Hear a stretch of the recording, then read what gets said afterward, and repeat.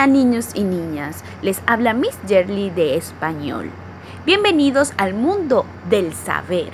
Hoy vamos a conocer sobre la oración. ¿Sabes tú qué es una oración?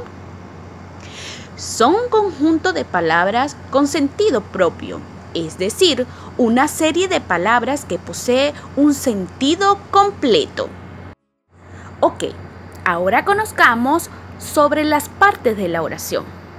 La oración está compuesta por sujeto, verbo y predicado. Conozcamos qué es sujeto. Sujeto es de quien se habla en la oración. Puede ser un objeto, un animal o una persona. El verbo. El verbo es la acción que hace el sujeto, como por ejemplo saltar, correr, caminar, entre otros. El predicado. El predicado es todo lo que va después del verbo para completar y darle sentido a la oración. Muy bien niños, un ejemplo de la oración es el siguiente.